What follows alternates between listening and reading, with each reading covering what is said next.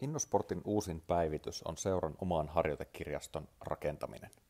Tämä ominaisuus on tehty siksi, että seuroilla olisi mahdollisuus rakentaa omilla sisällöillä oman valmennuslinjauksen näköinen oma harjoitekirjasto, joka palvelee kaikkein parhaiten oman seuran valmentajia.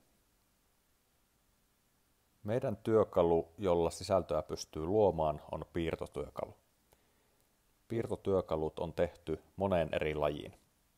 Eli jalkapallo, jääkiekko, ringette, käsipallo, lentopallo, futsal ja koripallo.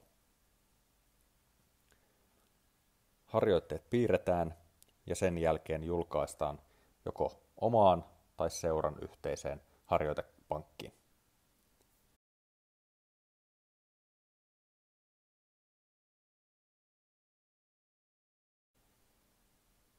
Seuran harjoitekirjaston sisällöt sidotaan aina seuraan, eli sisällöt pysyvät seurassa, vaikka seuran henkilöt vaihtuisivat. Tällä tavalla seura voi kasvattaa koko ajan oman harjoitepankin sisältöä ja tehdä tästä seuraa palvelevan jatkuvan kehitysprosessin. Jokaisella valmentajalla on myös oma yksityinen harjoitekirjasto, jota vain hän pääsee katsomaan.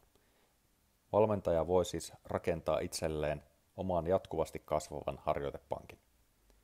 Tämä kirjasto kulkee aina käyttäjän mukana. Käyttöönotto vaatii Innosportin seuralisenssin.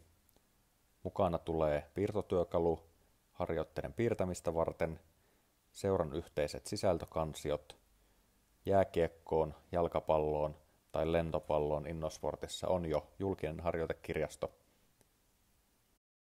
Kaikille valmentajille tulee mukaan myös Innosportin laaja yli 3000 videoharjoitteen fysiikkakirjasto.